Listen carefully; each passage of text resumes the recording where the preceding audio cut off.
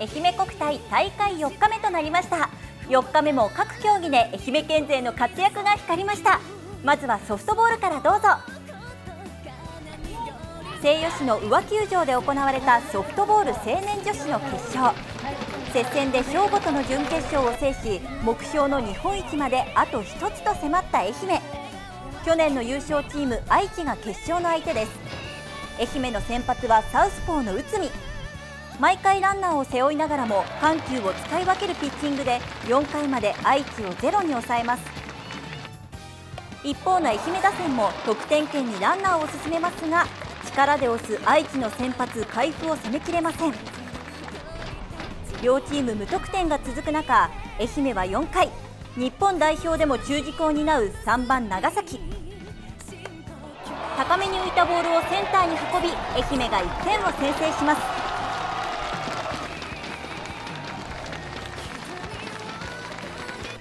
その直後の5回好投を続けていた愛媛の内海が捕まり1対1の同点に。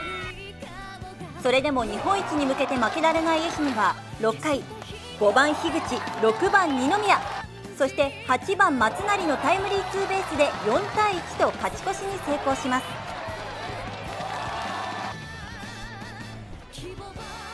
最終回も危なげないピッチングを見せた内海。地元の人たちの大声援に包まれながら優勝を果たしました。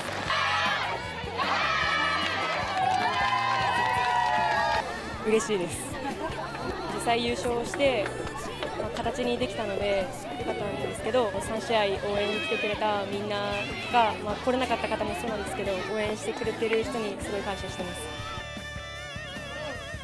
準決勝が雨の影響で決勝扱いとなった青年男子のソフトボール勝てばダブル優勝となる試合の相手は宮崎でした。愛媛県は初回に猛攻を見せました。ワンアウト満塁から5番遠藤6番宗田が連続タイムリーヒットで4点を入れます。この後9番池本のタイムリーで1点を追加しなおも1番前田がスリーランホームラン。愛媛の打線が地元の大きな声援を受けて大爆発。初回で8対0とリードします。この後も勢いの止まらなかった愛媛。3回までに12点を奪い試合を決めました。愛媛は19対4で優勝を飾りました。東温市で行われた少年男子のソフトボール。準決勝タイブレークの末福井を破った愛媛は決勝で広島と対戦しました。愛媛の先発は準決勝を1人で投げ抜いた東温高校の八木。決勝でもリズムのいい投球で相手を打ち取っていましたが3回。広島打線に捕まります。ランナーをためて長打を許すなどこの回だけで4失点。苦しい展開となります。一方打線は広島の宮本の剛速球をなかなか捉えられません。最後まで食らいつきましたが一度も三塁までランナーを進めることができず完敗。かし敗れたものの準優勝という結果に笑顔があふれました。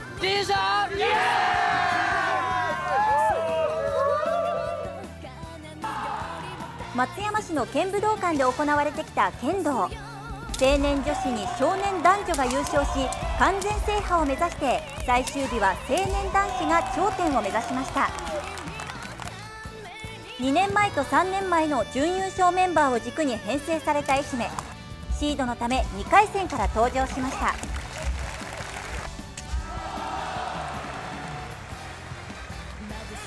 愛媛は先鋒村上哲彦が開始1秒でポイントを奪うなど5対0で圧倒。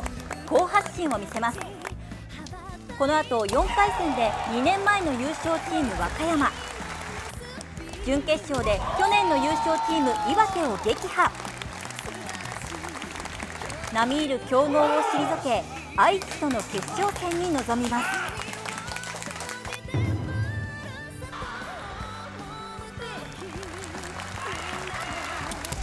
決勝でも先鋒の村上が電光石火の攻撃を見せます。しっかりポイントを奪いチームに流れを引き寄せます。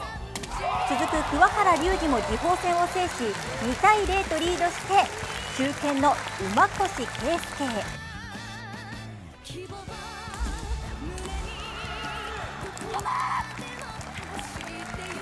馬越は攻める姿勢を崩さず前へ出ます。流れを離さなかった愛媛は愛知を3対1で破り念願の初優勝。青年女子少年男女青年男子が優勝する完全優勝で地元の国体を締めくくりました。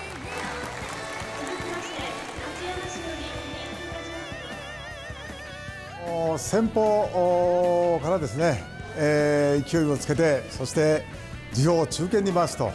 理想的な展開でですね、えー、優勝できたというふうに思いますね。続いては西条市で行われている山岳競技。15メートルの壁に挑戦するリード競技の決勝が行われました。